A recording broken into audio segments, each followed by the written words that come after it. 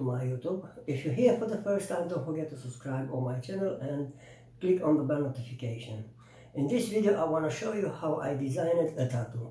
The subject was about a forest, a guy, a musician, and a moon. As you can see, I have a musician climb on the piano keys and uh, the moon on the top. Uh, this guy is going into the forest. I designed it, combine all together. Check on this video to see how I design it. Stay with me.